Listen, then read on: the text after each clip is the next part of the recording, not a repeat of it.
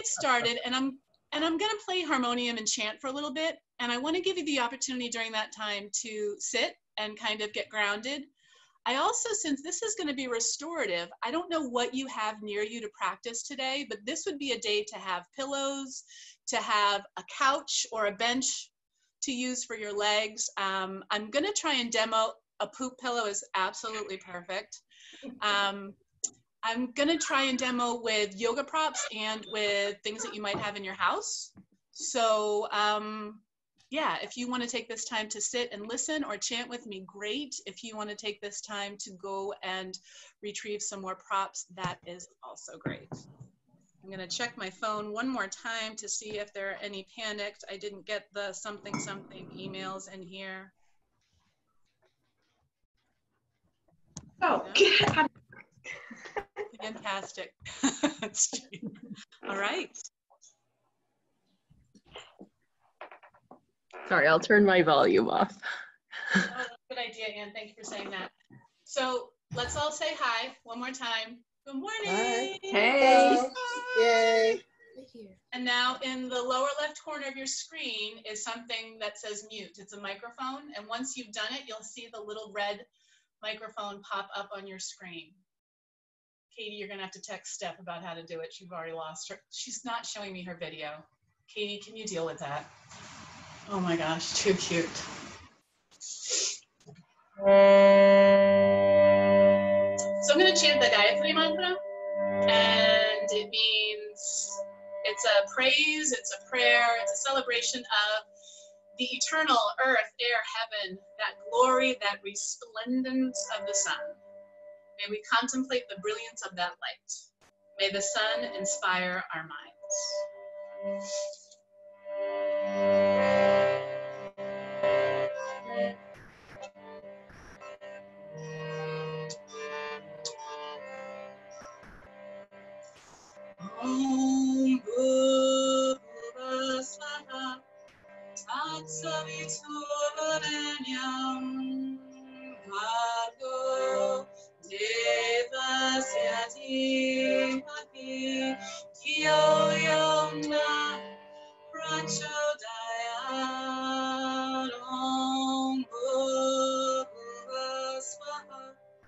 Tatsavituvarenyam Bhargo Devasya Dhimahi Dhiyo Yom Nah Prachodayat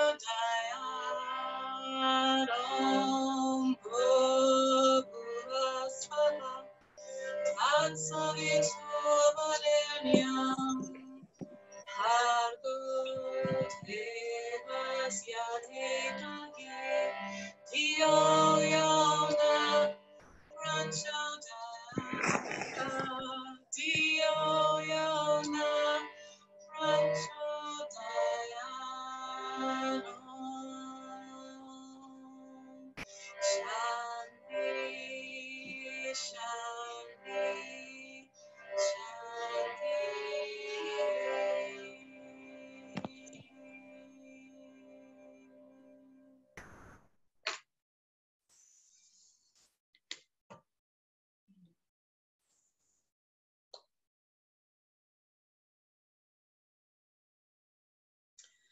Your shoulders up by your ears, relax them down. Hmm. If you haven't already come to a comfortable seat, maybe on the edge of a blanket, maybe on a chair, maybe on a cushion, maybe on your socks, maybe anything you've got nearby. With your hands on your legs, feel your legs. Maybe you feel them with the palms of your hands or with the back of your hands. Wiggle your jaw side to side. Inhale, shoulders up. Exhale, shoulders down. Coming to our mat during these times when we are quarantined, when we are self isolating, when we are physical distancing is such a beautiful thing because it allows us to feel the tension that we're carrying. We're spending a lot of days hunched over computers and smart devices. We're spending a lot of time with our shoulders stiff. So anytime we can sit and feel what's underneath us, we then have the opportunity to relax a little something. Sometimes we relax a lot. Sometimes we just acknowledge and feel the tension we've got. Yoga suggests that there's nothing wrong with anything that we feel or think, but that we can choose our next thought and word and action. So I invite you in this practice today to choose to breathe, to choose to feel, to give yourself this special time to feel your feelings, to feel your sensations. You're on mute, so you can cry and yell. Let's bring our hands together in front of our hearts. Lift your heart and bow your head. I invite you to chant the sound of Om with me three times. Om reminds us that everything is a cycle, a beginning, a middle, an end, and a timeless quality. You can have your hands together in front of your heart. You can have one hand on top of each other, on top of your chest. You can leave your hands on your thighs. Om is a chance, an opportunity that for right now we breathe together. I love this idea that chanting the sound of Om is like throwing a pebble into a pond and the ripples ripple out far beyond what we can see. So maybe when we chant Om, we chant with ourselves from the past and the future, or everyone else who is chanting this morning. Let's breathe in together. Ah.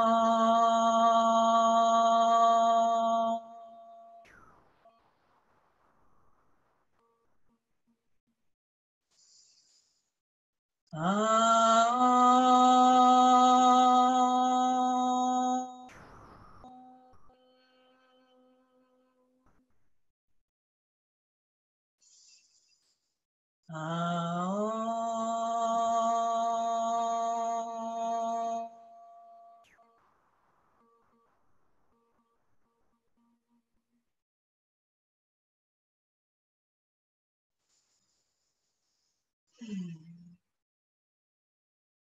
Relax your hands down to your thighs. Take your left first finger into your thumb, making a Jnana Mudra, a wisdom seal, palm up, and take your right hand up in front of your face. Tuck your first two fingers down into your palm. This means your left finger can come to your, your left finger, your ring finger can come to your left nostril, and your thumb to your right. You can also rest your first two fingers in between your eyebrows if that's more comfortable sit up curvy and tall. You can prop things up on your right thigh so you don't have to hold your elbow up. We're going to use the hand here to alternate breathing through one nostril and then the other. Let's breathe in fully and deeply through both nostrils and exhale through both nostrils. Close your right nostril with your thumb and inhale left for three, two, one. Close left, exhale right. Three, two, one. Inhale right. Three, two, one. Close right, exhale left. That's one round of Nadi Shodhana. Inhale left, two, one. Close left, exhale right. Three, two, one. Inhale right. Three, two, one. Close right, exhale left. That's a second slower round. Keep breathing this horseshoe pattern of breath, balancing your inhale and your exhale unless it makes you feel really stressed. And if that's where you are today, then relax your right hand down and balance your inhale and your exhale without the vowel. A lot feels beyond our control. Sometimes to do a small thing, to breathe through one nostril and then the other, or to wash a teacup, or to make the bed can ground us back into our capabilities, our strength, our experience of now. Let the lower jaw rest away from the top jaw. And the next time you exhale through your left nostril, no hurry to get there. Release your right hand down.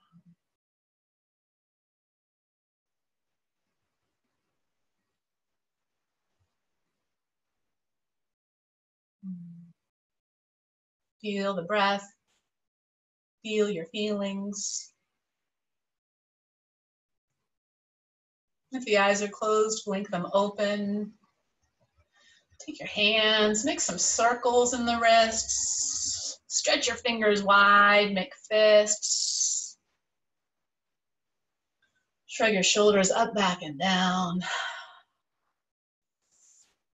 I'm going to invite you to climb into a heart bench. I know that some of you have yoga props at home and some of you don't, so I'll demonstrate a few different ways to practice a heart bench.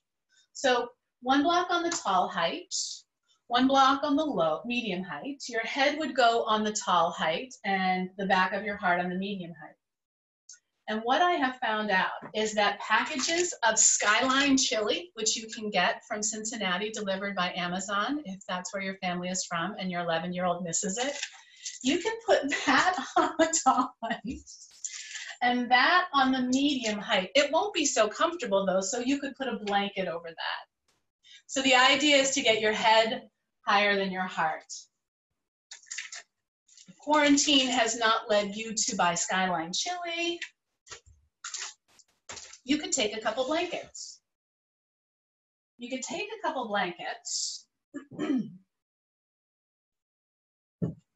roll them into a Tootsie Roll, put them on your mat, and then take one of your pillows from your couch or your bed and put that up there so that's higher. So either way, whatever you choose, you're gonna lay down so that your spine and your heart is lifted and your head is a little higher than your heart. So your chin naturally falls down, softens down. That's a much more gentle term. You can keep the knees bent with your feet on the floor. You can lengthen your legs long with your arms by your side. You can also choose to bend your knees out to the side and have your feet touch. I'm going to demonstrate these shapes today, spend a breath or two in them with you, and then I'm going to sit up and read something.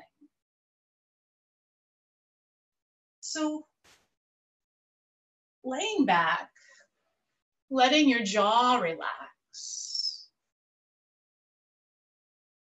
This can feel like a big opening across the jaw, across the hips. Look let your face look just straight forward, not looking, not looking to me, nothing exciting to see here. talking to you, Steph. so sometimes palms up feels really relaxed, and sometimes palms down feels really relaxed. So this is all about you. What allows your shoulders and your chest to take a break?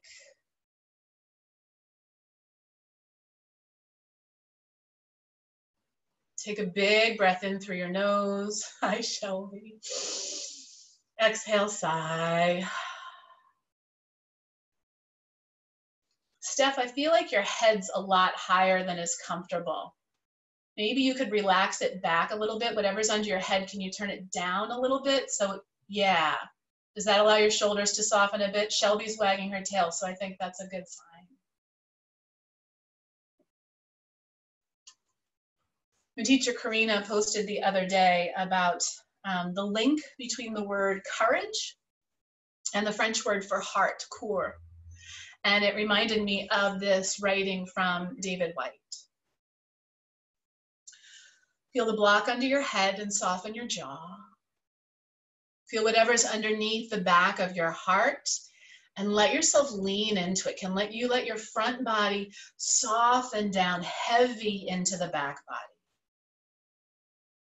It's almost like you massage the back of the lungs, maybe the kidneys in this way as well. Courage is a word that tempts us to think outwardly, to run bravely against opposing fire, to do something under besieging circumstances, and perhaps above all, to be seen to do it in public, to show courage, to be celebrated in story, rewarded with medals, given the accolade, but a look at its linguistic origins is to look in a more interior direction, toward its original template, the Old Norman French coeur, or heart. Courage is the measure of our heartfelt participation with life, with another, with a community, a work, a future. To be courageous is not necessarily to go anywhere or do anything except to make conscious those things we already feel deeply and then to live through the unending vulnerabilities of those consequences. To be courageous is to seat our feelings deeply in the body and in the world. To be courageous is to seat our feelings deeply in the body and in the world. To live up to and into the necessities of relationships that often already exist with things we find we care deeply about, with a person, a future, a possibility in society, or with an unknown that begs us on and always has begged us on. To be courageous is to stay close to the way we are made.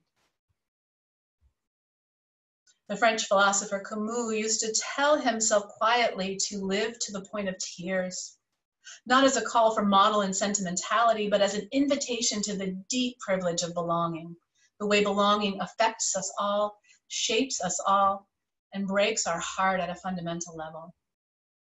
It is a fundamental dynamic of human incarnation to be moved by what we feel, as if surprised by the actuality and privilege of love and affection and its possible loss.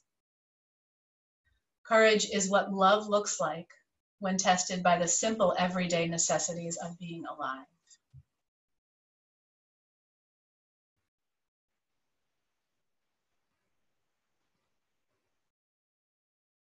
Stay just where you are. It's perfect. Draw a long, slow breath in through your nose.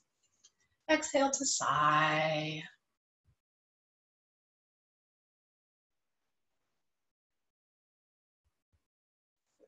You're welcome to change the hands or the feet, the knees or the calves.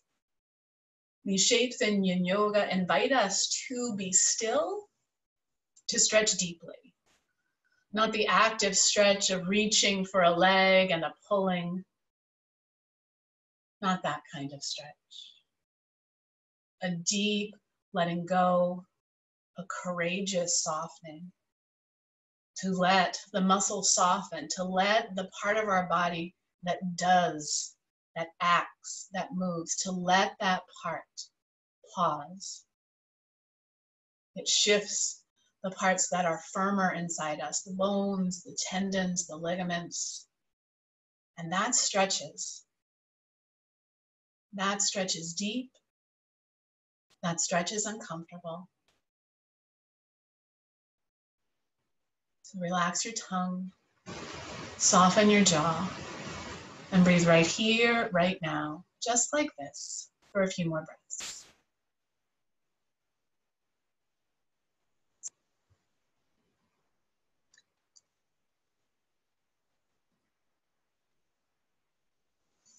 Hmm.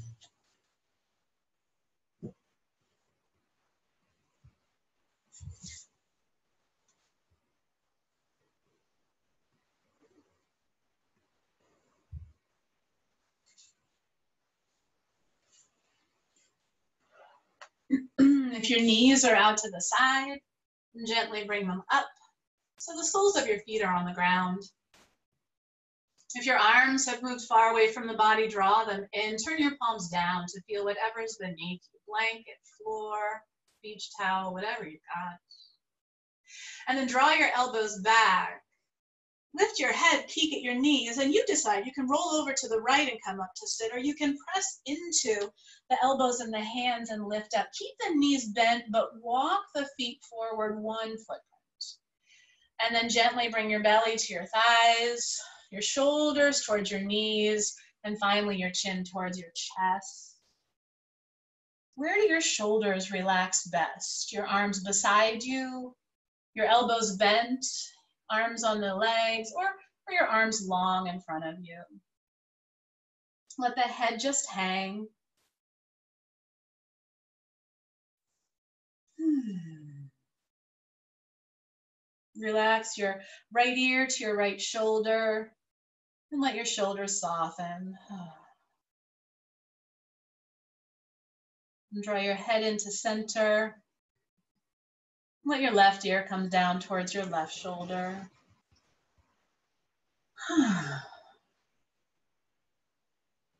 Bring your chin back to center. And gently roll your low back back behind you, then your middle back, then your shoulders, and then lift your head up. Hmm.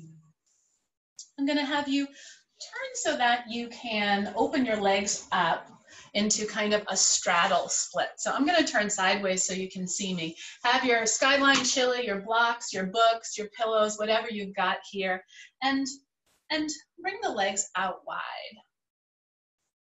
So bringing the legs out wide, it stretches the back of the legs. It can stretch the low back too. So if those areas are feeling tight, you might stretch the legs out wide and feel like you're sitting way back. On days when that happens, you can sit on the edge of a pillow or you can sit on the edge of a blanket. So I'm thinking that my running friends might, might want to sit up on the edge of something. How's my volume? Do I need to speak up or are we good? Are we good? Thumbs up if we're good? Great. So I'm gonna bend my left knee and you've got a choice. Open your left knee out to the side. This is external rotation. If you like internal rotation, that could be bringing the top of the foot to what's ever beside you. This has the added benefit of stretching quads. Quads can get kind of tight sometimes when we sit a lot. So if this feels okay on the knee and the hip joint, I'd recommend this one. And if it doesn't, listen to the body because it knows way more than I do or you do.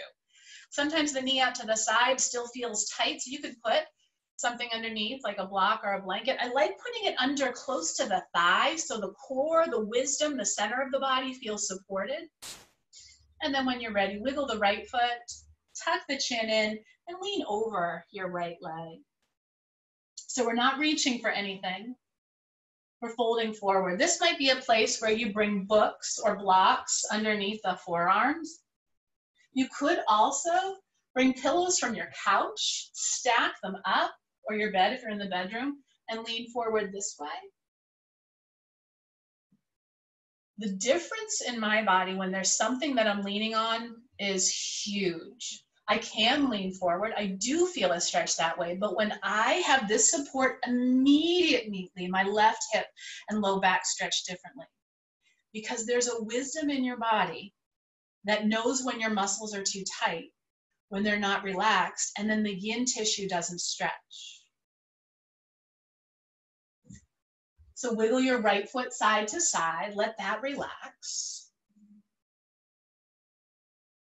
tuck your chin in and look down. Steph, can you put a, a pillow or something on top of your arm so your head is on something?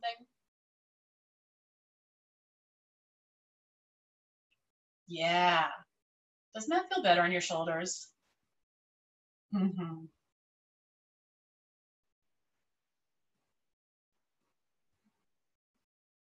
Bernie, soften your elbows back towards your ribs a little bit. See if that relaxes the back of your neck and shoulders. Nice.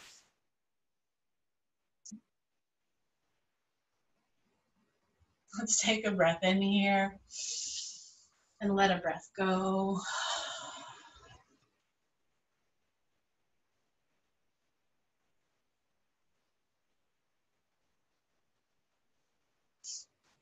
To finish that, that section on courage by David Whyte. We become courageous whenever we live closely and to the point of tears with any new possibility made known to us.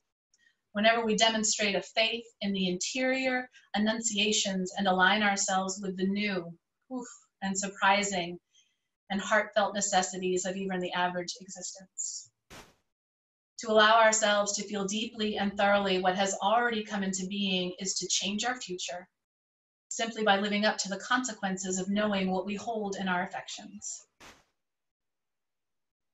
From the inside, it can feel like confusion. Only slowly do we learn what we really care about and allow our outer life to be realigned in that gravitational pull.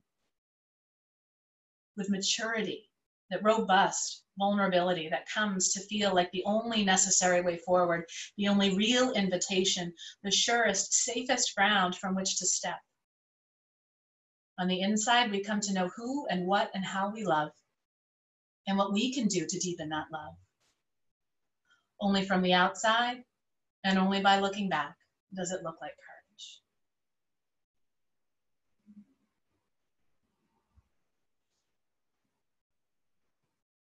Notice if your teeth are touching, and if they are, let there be some space there. Feel whatever is touching your arms. And with your thinking mind, tell your upper arm muscles to soften, your neck to do less. And just a couple more breaths like this.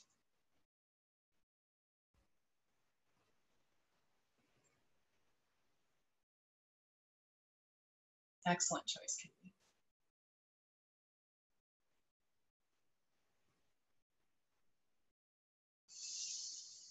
Hmm. Let your head stay heavy. Draw your elbows back, your hands back. Put your fingertips onto something that's not your leg. And roll your low back behind you, then your middle back, then your upper back. Shrug your shoulders up, look forward, and sigh. Release your left leg long. It might feel nice to move the leg side to side. Maybe to point and flex the ankles, wiggle the toes. This is certainly a practice where you can have socks on. And then we'll practice with the right knee bent. So the right knee out to the side, the right knee forward, we know that our that our feet are different sizes. It makes sense to us in our mind that one side of the body is different from the other side of the body, and yet we can still expect that what happened before is what happens next. That's kind of like a big global thing happening right now. What we expect to happen this this season or the next day. So support this leg whatever way is best. The knee doesn't hurt. If the knee hurts, it's telling you, giving you the opportunity to do something kind and helpful so you can get that stretch. When you're ready, tuck your chin in, turn to the left, and lean forward and down. So just start here. Just make a beginning. Pile things up so the body feels connected. The beauty of that piling up really high, really firmly, is that as the body softens, you may find that you want to lift things up more or move things further down the leg or soften them down towards the earth feel a connection to whatever you're leaning on. Feel like it's actually holding some of your weight because the muscles don't relax when they need to work. So, how do you let the muscles know that they don't have to work? Through contact, through slow, excuse me, through slow, steady breath,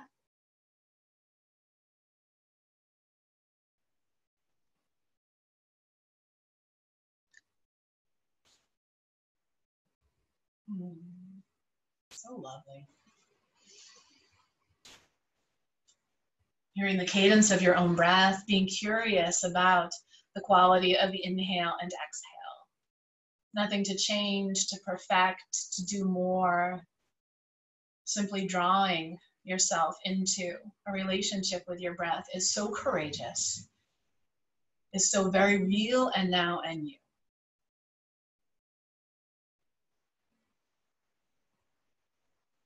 I'm not sure how much you've been crying these days, but obviously, since I'm bringing it up, I've been crying.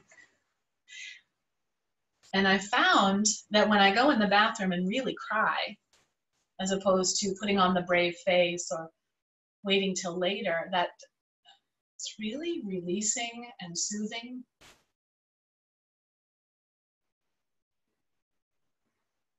It's very natural to want to control, to think of that as our power. I love the yogic idea that our power, our wisdom, our grace, our kindness comes in how we choose what we do, say, or think next.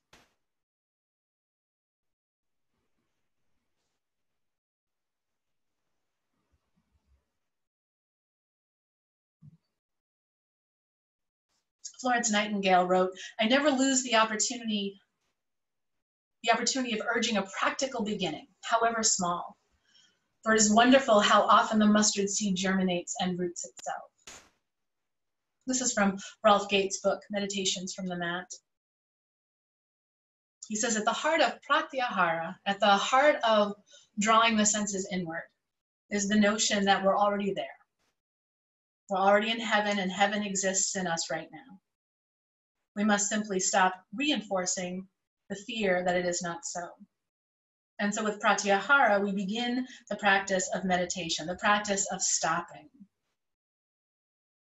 Our first moments in stillness, whether it's on a meditation cushion or in a yin yoga shape, feel a lot like slamming on the brakes in a car. All sorts of things keep moving even though the car isn't. It takes the mind a while to figure out that we're no longer moving and that we're serious about being still. I think it takes the muscles a while to figure out that we are okay with pausing. A tussle then ensues, Rolf says, as to who will be in charge of the time spent like this the restless mind or the one who has decided to be still. This tussle is the domain of pratyahara. Just as there is yoga on the mat and yoga off the mat, there is pratyahara on the cushion and off the cushion. In the stillness, on the cushion, pratyahara is the process of letting go of distraction. It's the twilight place between everyday consciousness and singular pointed concentration. Let's inhale together here and sigh.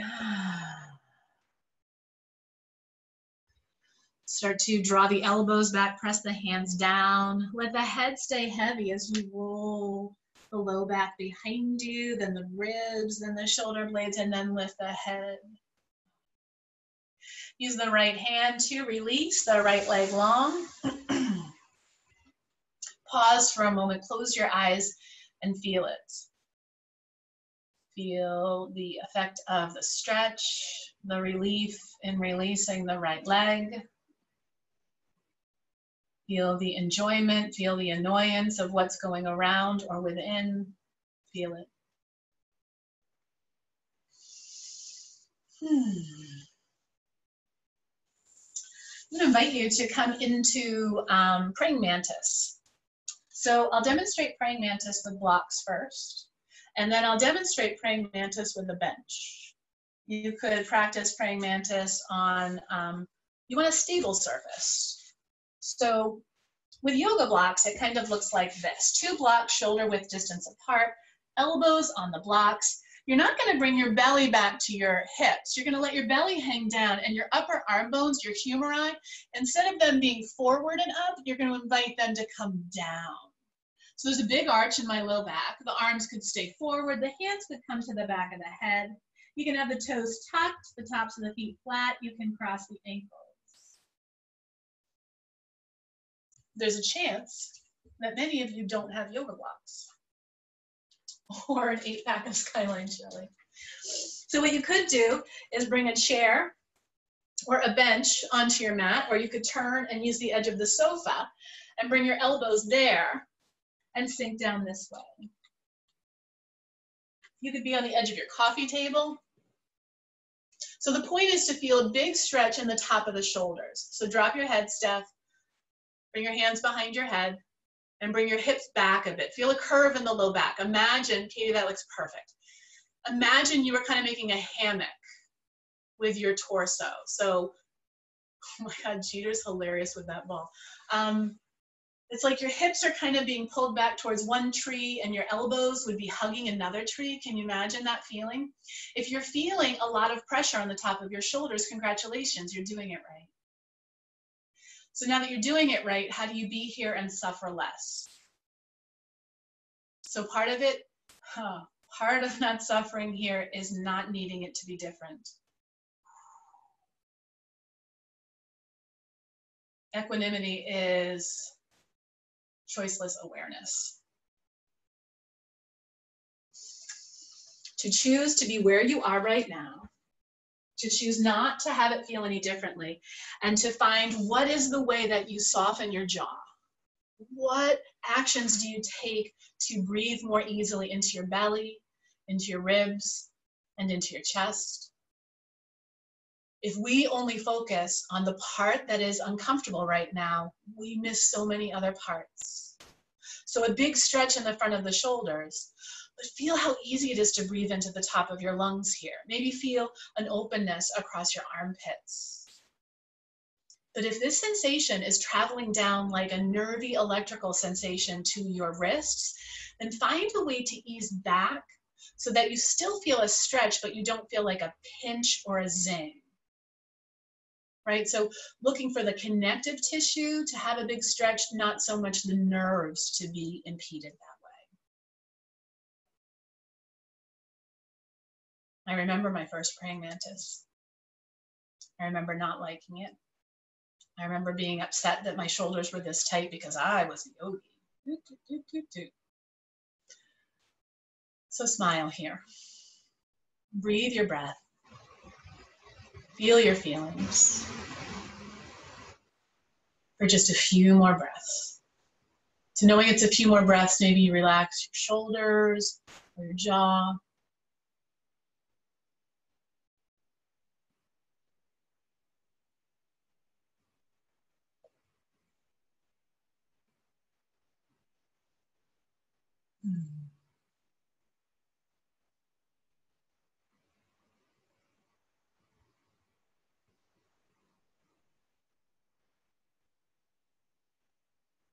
You're doing great, Laura.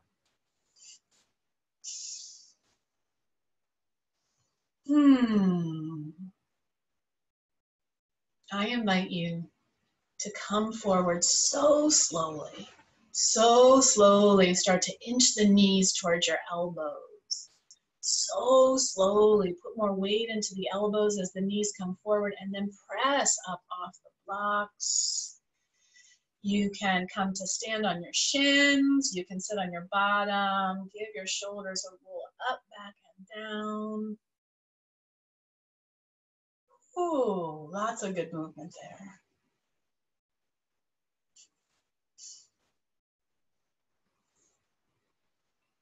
Hmm. And then make your way to hands and knees. Mr. Bandito, can you do that right over? Can you just, right here is good. Right there, okay? I recommend having a pillow or a blanket, not for you, silly, or even a yoga block, right close to the side of your mat. We're going to come into a sleeping swan, a hip opener. So you're going to bring your right knee forward from hands and knees. And now move your right knee towards your right wrist. That kind of brings your right heel in front of your left thigh, yeah? So come hands and knees, right knee over, you got it. And now sink your hips sink your hips back and down. So the idea is that your waistband is level. So if my right hip is really high, I've got a lot of weight over onto my left side. So the more I sit back and down onto my right hip, the more I feel both a stretch in my right hip and the front of my left thigh. I need you to go over here for a moment, sir. Thank you. And then you come down to the elbows. This is where, oh, practicing at home is so sweet because you can be on all the blankets. If you use blocks, you can have your head on the block, blocking the view. If this just zings the heck out of your right knee, then to practice this shape on your back is really sweet on your low back. That would be coming to a figure four with the right knee on the right ankle and gently holding on to the left thigh. Sometimes when I come into figure four, I like to have that stack of cans or a block actually on the by the left foot so that the foot could be there or the toe can be there and I don't feel like I have to use my arms so much.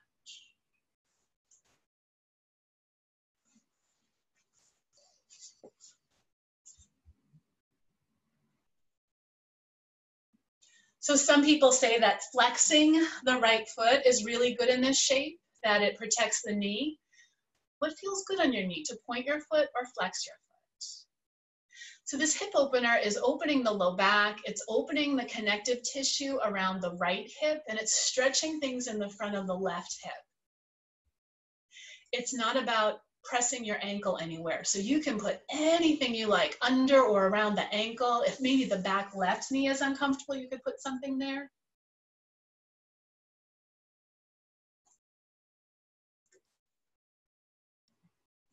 And when you arrive, draw a long, slow breath in and sigh.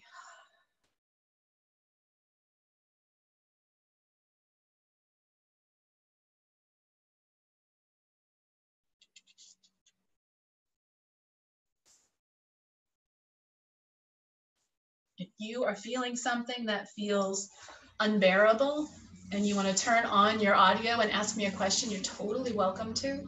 Or you can wave at me and show me where you're feeling it, and I can offer suggestions.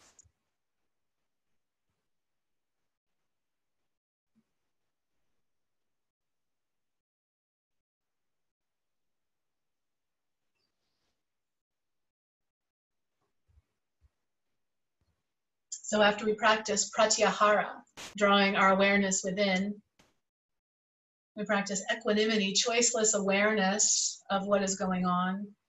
We're invited on the yoga path to practice dharana or concentration. BKS Iyengar says fixing the consciousness at one point or region is concentration. We learn to bring our attention to one point and we train our minds to stay there. The point of concentration can be external, as in a yoga pose. It can be internal, as in a mindfulness or meditation practice. On the mat, we experience dharana quite often during those moments when we lose track of time, when our minds become so absorbed in the physical experience of a shape that we're no longer connected to everyday concerns. In dharana, the past and future have dissolved and we're simply existing in the now. Rolf says, I experienced dharana in every class I teach, and that's how I know that teaching you, that's how I knew that teaching yoga was a healing path for me. Most of us are fortunate enough to have found activities that draw forth this deep concentration. When we are doing something we truly love, we cannot help but give ourselves to it wholeheartedly. It means when we're being courageous and feeling it, we're practicing dharana. So dharana, therefore, is a byproduct of love. It's the clarity that happens in a, in a focused mind. We find the timeless place where we connect to spirit. And in this sense, dharana is our pathway to spirit, to the thing in us that is not our need, our job, our name, the thing that is us. Let's all take a big breath in here and sigh. Start to sit up a bit, bringing the elbows back, the hands back. Press down to lift up. And make your way, in whatever way makes sense, to go back to hands and knees. You could sit over on the right side and bring the left knee forward and press up that way. You can press yourself up and stretch your right leg back. When you get to hands and knees, do stretch the right leg back, open up the back of that knee. Maybe you lift and drop the hip. Maybe you move the ankle. Sometimes we put a lot of pressure on that. Maybe you want to lift the leg or do some fire hydrant circles some puppy dog wiggle side to side, hips one way and then the other. Maybe round like a cat, arch like cow shaped pose. Hmm. And then draw the left knee forward, the left knee over to the side, right leg long behind you. The side will need different things, different props, different arrangement of the bones. Maybe you have a tendency to call this side the something side if you do label what you're experiencing, could it be devoid of judgment? Could it just be this side is tighter without saying this side is bad, lazy, whatever words you might use sometimes when the critical thinking mind comes in. This side, just like the rest of you, is doing the very best it can. Hi, kitty.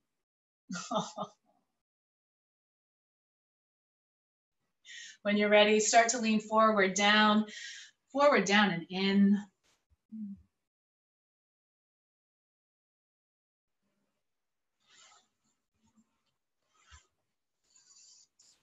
So where you place your elbows has an effect on your shoulders. I'm thinking about you, Steph. So if your shoulders are way high up, Steph, can you see the picture of Katie? You see how relaxed her shoulders look? Do that. Maybe move the shoulders out away from center, Steph.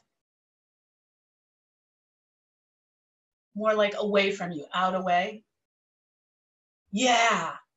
And now put support under your rib cage so your shoulders and head relax. Does that make sense?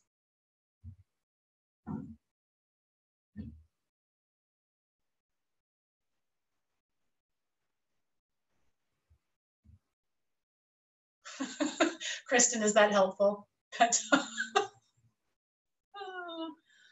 oh.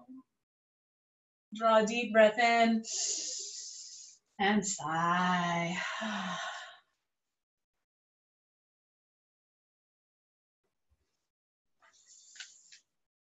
Dharana is not something that we do, it's something that happens. It's the result of surrendering to love. In the gladness of love, we let go of our resistance to life. The present moment becomes acceptable, and we're overtaken by the real. We experience this as dharana. The words we use to describe it off the mat are deep concentration or flow, but in fact, what we are experiencing is deep connection. In the deep connection that is Dharana, we are alive in a fashion that bears only slight resemblance to ordinary life. We've applied ourselves to something we love gardening, race car driving, parenting, yoga, and we have withstood the rigors of love. In our fidelity, we have broken through our fear and found ourselves in a state of deep connection. Love draws us deep into itself, deep into a place beyond space and time, fear and doubt, words and failure. Each time we are drawn to this place, we emerge forever changed. The qualities of this place become more real to us, more accessible. And we find that we are guided by a thinking that is beyond words. It is so natural as a human in a body having a physical, emotional, mental, spiritual experience of life that we feel deeply. And sometimes we don't know and we want to know, we want it qualified, we want it in a box in black and white. And in times like this, there is so much that we don't know and can't be known, which is a really awesome opportunity to be okay with not having all the answers.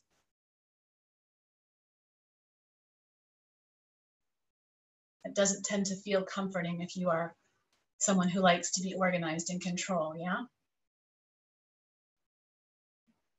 So can you be happy right now with the big sensation of this stretch? Guided by the wisdom of the mind that knows that stretch is a good sensation. You have felt stretches before, you know that afterwards you feel good, you know that being patient with that sensation is ultimately not something to fear, but something that you can breathe and there's a quality of surrender to.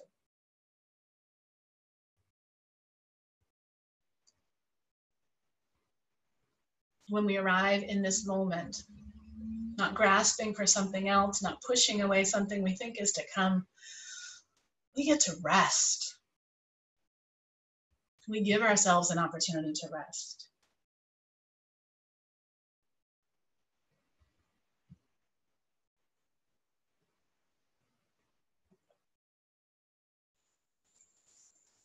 Hmm.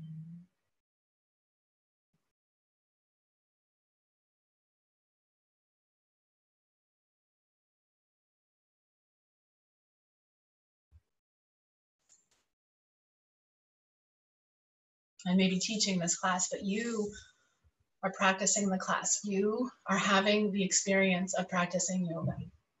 So you can stay here for a few more moments, a few more soft, gentle breaths. But if the body is telling you, if there is a wisdom beyond words that is telling you that it's time to come out of this shape, then you are welcome to come out.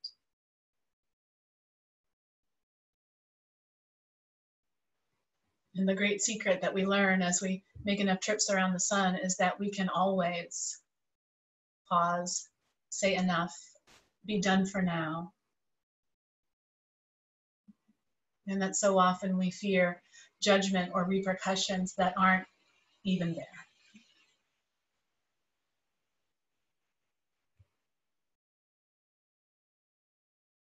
Let's inhale together here and sigh.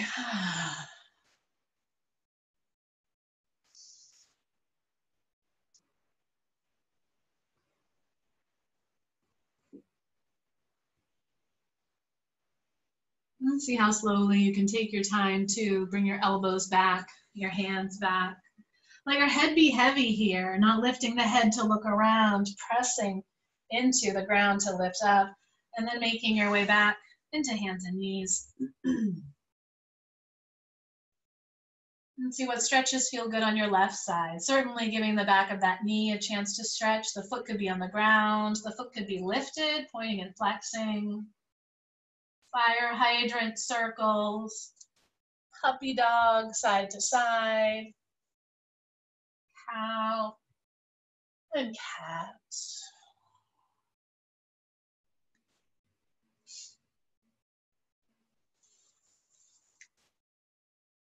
So I'd love to invite you to practice a restorative yoga shape that um, my first restorative yoga teacher called Instant Maui. So hopefully you all have a positive association with Hawaii. If not, call it instant, whatever your place is that you want to go.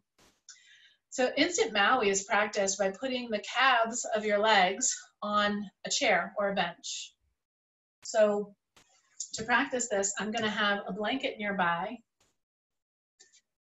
and I'm going to use my couch because I think it's the easiest thing to do here. I'm going to bring my legs up onto the couch so that a lot of the weight of my legs is on the couch. And the couch is actually a little too high for me. I'm going to change to a bench in a moment, but I feel like this was easier to, to demonstrate. And then, and then my neck doesn't love it here. And I want, I want your neck to love it. So I'm going to take a blanket that has like the open edge and I'm going to flop it over top of me, bring it under my head so that the edges of the blankets can come up onto my shoulders. So it lifts my head a little bit. I'm nestled into this, and the blanket on the top of my shoulders feels really, really good. It's gentle, it's soft, it's warm.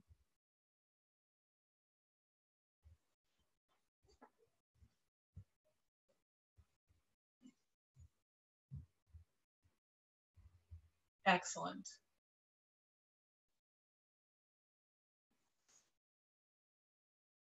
Steph, are your calves touching something or just your feet? Can you move so the calves of your legs are on whatever's there? I think that'll be more relaxing. Yeah? Excellent. Anne's resting her legs on an asteroid in outer space. I'm going to trust that she knows what she's doing. Yeah, Liz, you might find that the closer you get, the more weight you put onto the legs. That's good.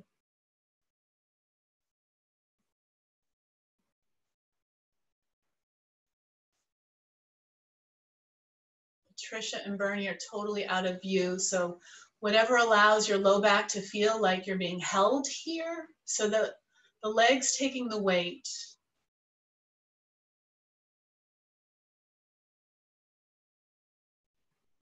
from the low back onto whatever support you've chosen.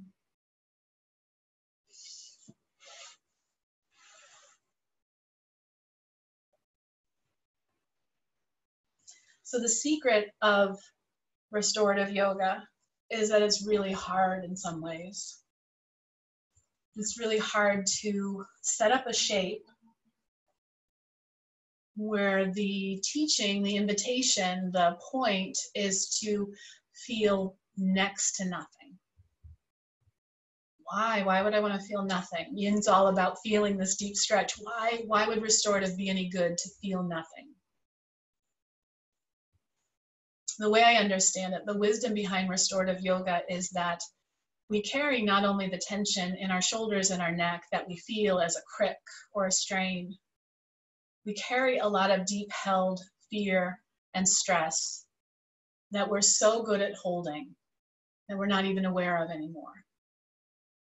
So if we put the body into shapes where props or blankets or blocks or bolsters hold the body, then things that the body is ready to soften, it may.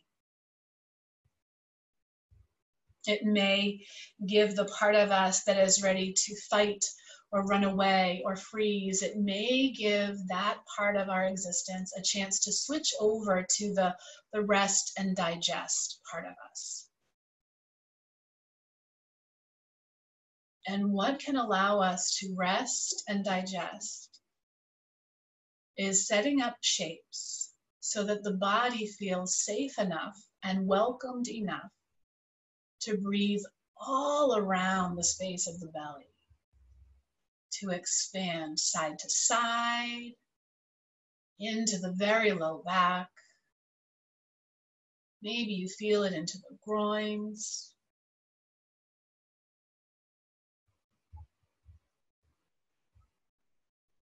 There's no need to deepen your breath, to force it. Simply an opportunity to pause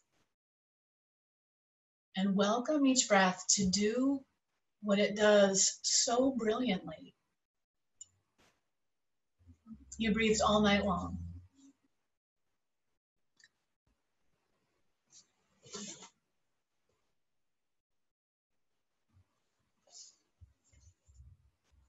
Lao Tzu wrote, Always we hope someone else has the answer. Some other place will be better, some other time it will all turn out. This is it. No one else has the answer. No other place will be better, and it's already turned out. At the center of your being, you have the answer. You know who you are, and you know what you want. There's no need to run outside for better seeing, nor to peer from a window. Rather, abide at the center of your being, for the more you leave it, the less you learn. Search your heart and see that the way to do is to be.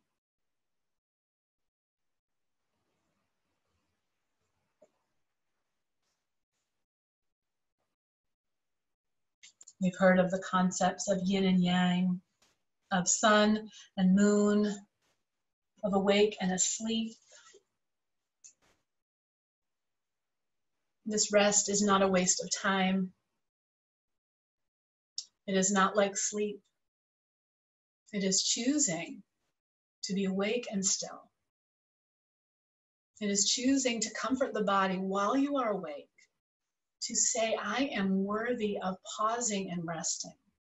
I have done enough to deserve a deeper breath, a gentleness across and within my being. To maybe feel the beat of your heart or the pulse.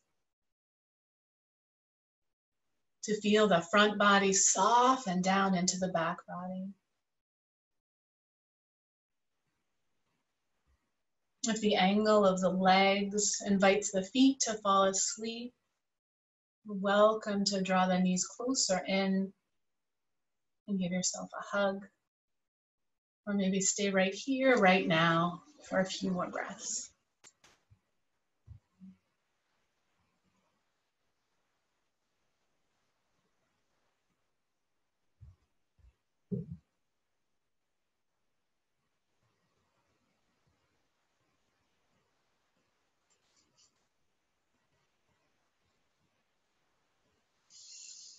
Hmm.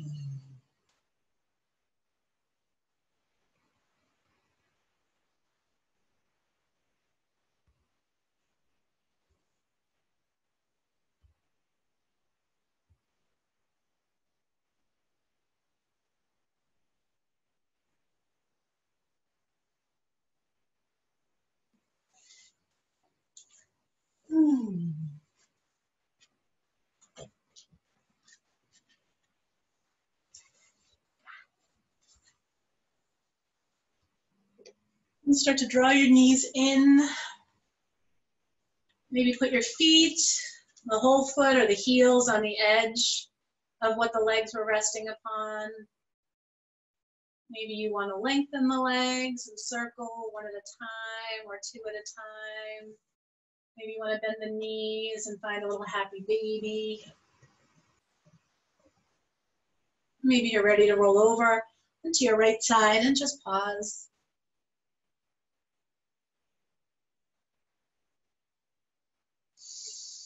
Hmm.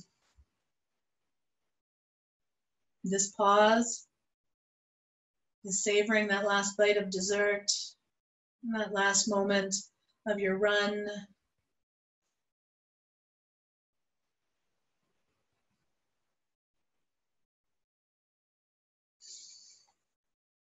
And then press down with your hands, lift yourself up to sit. Hmm. I'm going to invite you to come into a reclining shape that is similar to the heart bench that you practiced in the beginning. But the heart bench in the beginning was meant to have you feel a lot in the arms and in the legs and to feel the curve in the low back. This version is really sweet and gentle. So we'll demonstrate yoga props and no yoga props. So if you have blocks, you would put one on the medium height, one on the low height. Chances are, if you have yoga blocks, you have yoga blankets. You could also put a bolster here. So you're gonna bring your low back right up against this if you have this configuration. But maybe you are home without these things.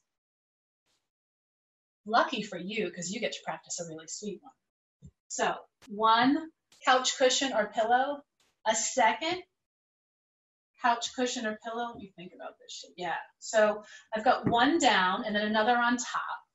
So you can see how this could lift the back of my heart. This color is not good. So one low and then one on top. So I'm creating something to meet my back. And then I'm going to place another pillow here, or even sweeter could be a folded blanket. If you use a folded blanket, you then have that opportunity to do those edges around your shoulder. So it would look like this. This is only part of the shape. So once you get this configuration, come back and set up. So this could allow these blankets to come over my edge. And so my head is a little further back than I want. I'm gonna yeah, so now I feel like nestled and my jaw relaxed. So the idea is if your chin is towards your chest, if your head is lifted up to the right angle for you, then your jaw will relax because there's no strain to hold. So that's what we'll do for the head and for the heart. And then you'll take other blankets, roll them up into tubes, and put them on either side of your legs. So in that beginning shape of heart bench, the invitation was to feel a deep opening in your groins. The invitation here is to not feel an opening in the groins. So you want to have as many pillows as you need underneath. So I'm going to come back so the back side of me, my low back, like below my waistband, touches the pillows or the blankets or the bolster that's behind me.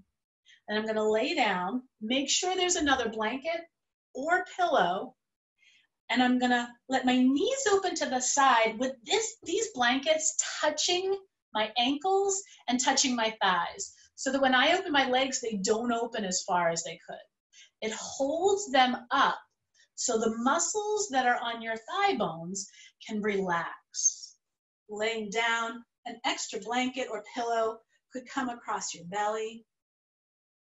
You could have blankets and blocks and pillows underneath your elbows and have your arms in. You could have your arms out wide.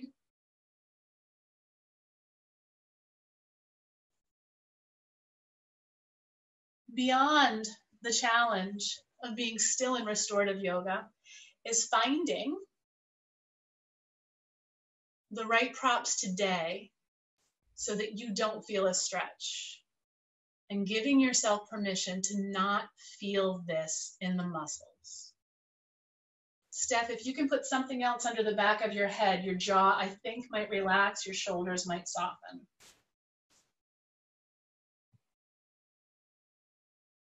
I know we're getting to the point in the practice where you're running out of pillows and blankets around. That's smart. I like that idea. If you have an extra article of clothing or um, something to put over your belly or your chest, even if you're not cold, but putting something over, kind of snuggling in.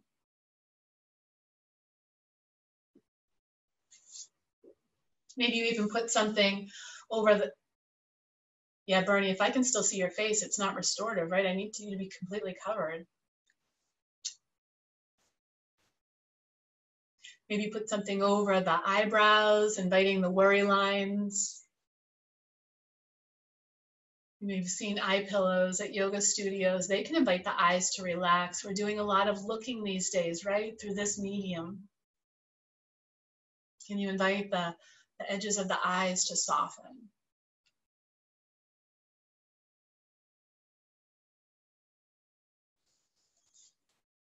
This is David, David Whyte's contemplation in his book Consolations about the word rest. Rest is the conversation between what we love to do and how we love to be. Rest is the essence of giving and receiving, an act of remembering imaginatively and intellectually, but also psychologically and physically. To rest is to give up on the already exhausted will as the prime motivator of endeavor, with its endless outward need to reward itself through established goals. To rest is to give up on the already exhausted will as the prime motivator of endeavor with its endless outward need to reward itself through established goals. To rest is to give up on worrying and fretting and the sense that there is something wrong with the world unless we are there to put it right. Hmm. To rest is to fall back literally, literally or figuratively from outer targets and shift the goal not to an inner static bullseye, an imagined state of perfect stillness, but to an inner state of natural exchange. And the template of this natural exchange is the breath the autonomic giving and receiving that forms the basis and the measure of life itself. We are rested when we are a living exchange between what lies inside and what lies outside.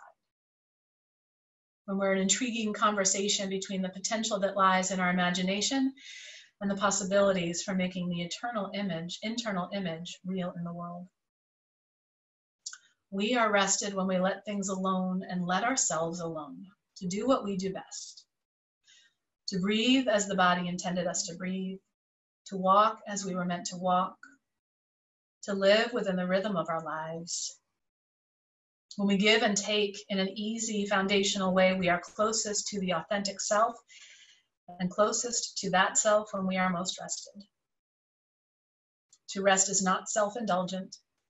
To rest is to prepare to give the best of ourselves and to perhaps more importantly, arrive at a place where we are able to understand what we have already been given.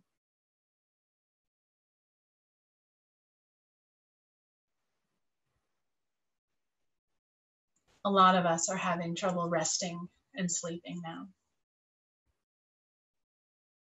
So maybe we invite ourselves to rest with what is. And maybe that's a spinning mind, or a worrying heart.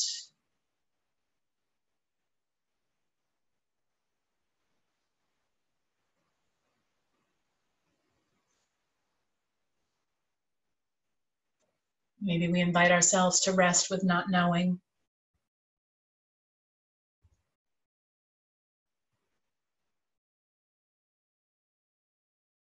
We can rest even as we wonder, am I doing it right? Is this enough? We can notice that every thought that we have has a period, an end, and we can take that moment, that pause between that period and what comes next to breathe in and to breathe out. We can make it a big breath. We can allow it to be a gentle breath.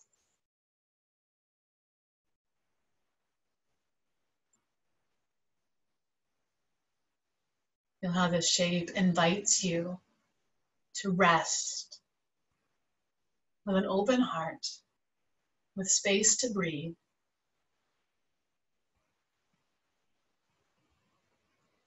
With whatever is coming up.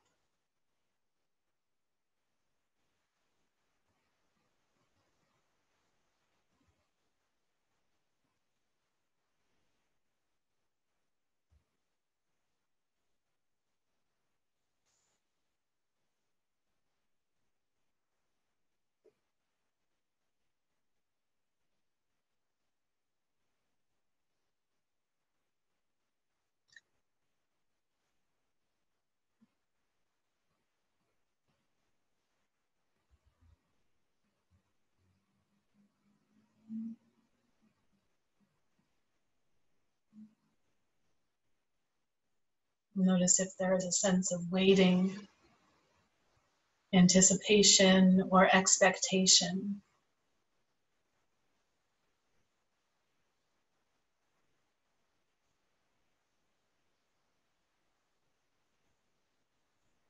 Lean into it.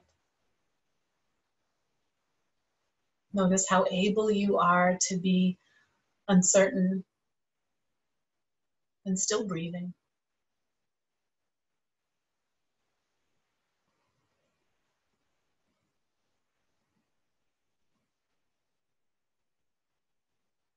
To not know what comes next and yet be gentle.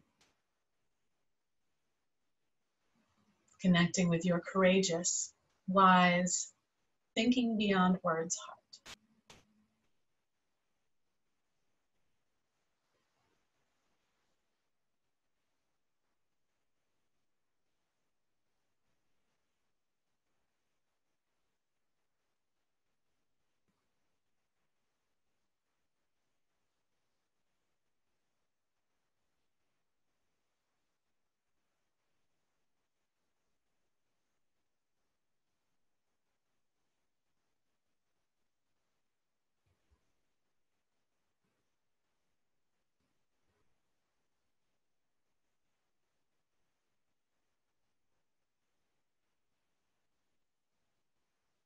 Let's all take a deep breath in together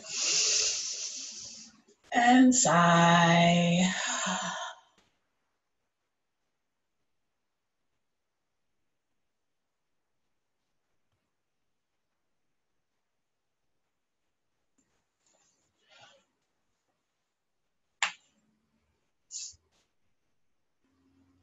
And snuggle the arms closer into the side body. Maybe use the hands to lift the legs up so the feet are on the ground.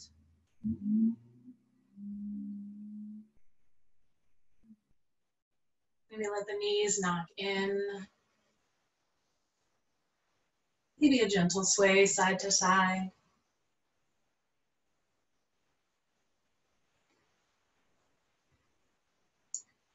And then coming to center, press the feet down, shift your hips to the left, and roll off of the blankets that you have underneath you or pillows and come down to the floor. You can have the right arm under the head as a pillow.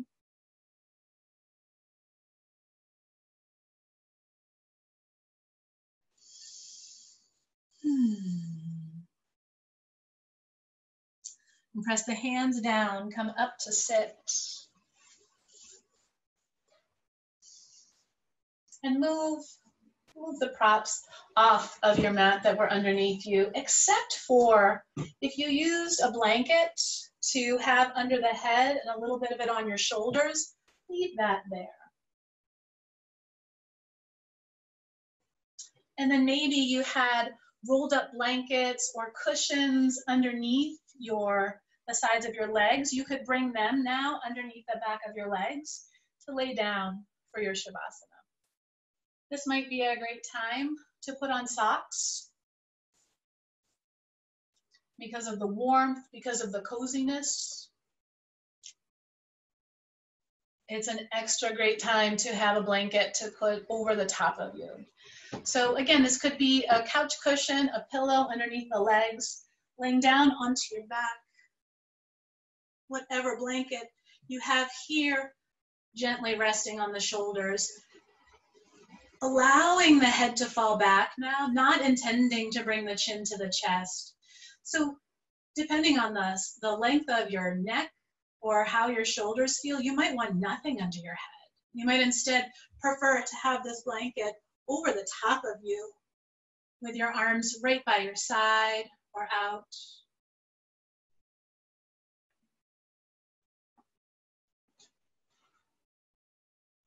Some people find that a few blankets or a weight across the belly invite a relaxing and a deepened breath.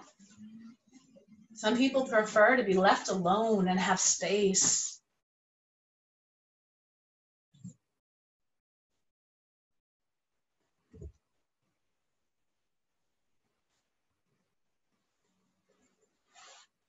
This one's all about you. The secret is they all were. But let this be what allows you to feel connected to the earth, to feel relaxed, to feel held, supported, able to sit back and down.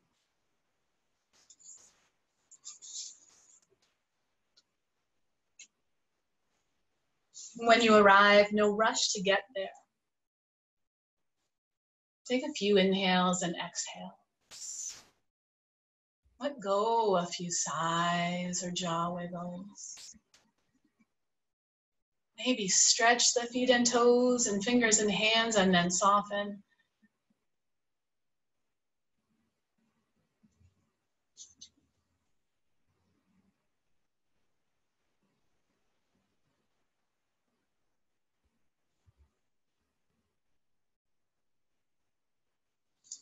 David Whyte said, Rested, we are ready for the world, but not held hostage by it.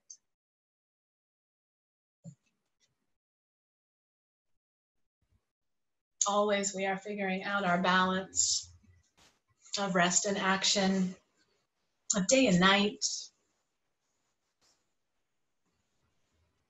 Invite yourself to find a quality of rest here.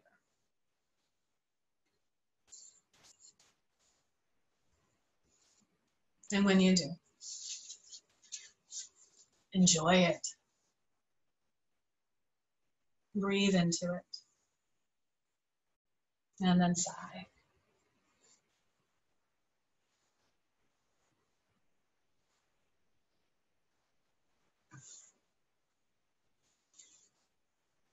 Loka samasta sukhino bhavantu. May all beings everywhere be happy and free.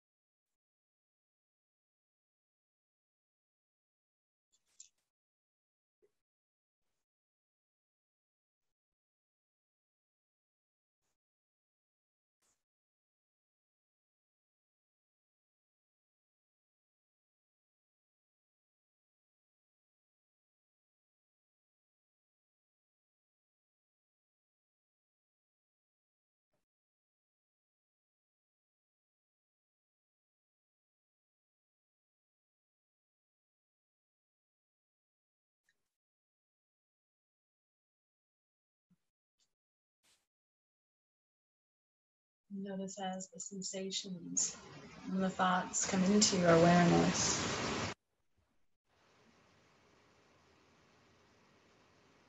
And be gentle with them, with yourself. Allow yourself these precious moments to be awake and rest.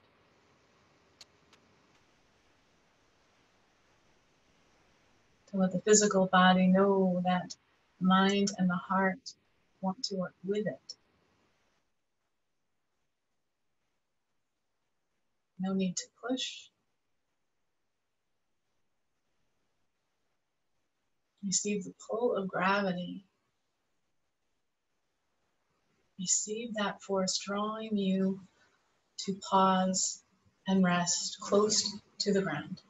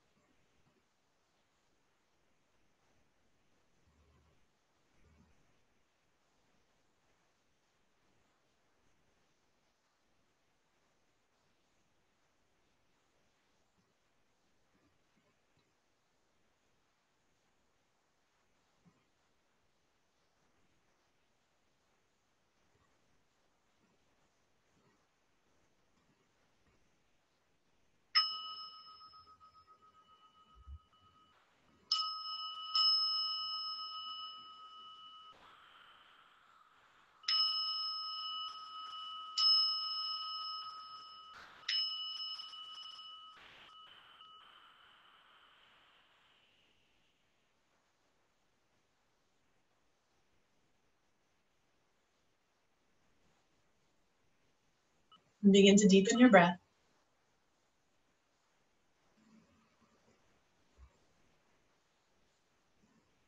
Maybe that happens with inhales and exhales or sighs. Maybe it happens with movement. Maybe it happens by drawing, drawing the hands to the thighs or the belly and feeling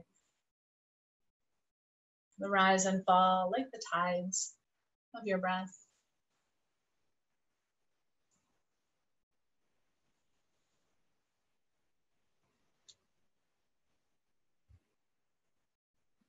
Maybe shake the head gently, no and yes. Wiggle the jaw side to side.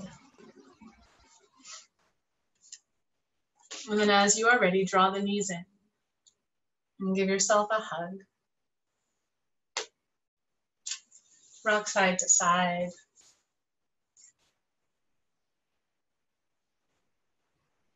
A big rock, a little rock. And as you're ready, land over on your right side. Give yourself a hug. Thank yourself for carving out this time to practice. No effort on the yoga mat is wasted. We come away from practice a little more who we are, so that everyone who interacts with us for the rest of the day gets to connect to our wisdom and grace and beauty. Thank you for practicing yoga. As you're ready, build your way to come up to sit. Maybe you sit on the edge of something, maybe you sit wherever you've been practicing just as you are.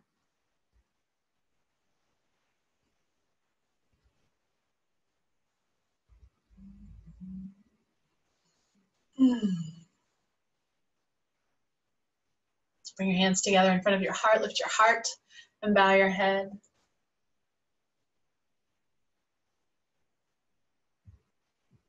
We are more wise and courageous than we know. It is only in looking back that we see all the wisdom and courage it took to go through the times that have been behind us. I truly believe the same will be true as we move forward. So as you lift your heart and bow your head, I invite you to chant the sound of Om with me once to close the practice, and then chant Shanti, peace, three times together. Sending the peace of the practice deep inside you where you won't forget it. Sending the peace of the practice out to someone who couldn't be here. Sending it out to wherever you think it will do the most good. And together, let's inhale. Ah.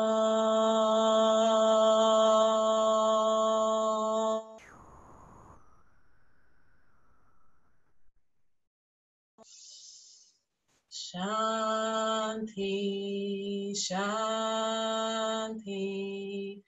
Shanti.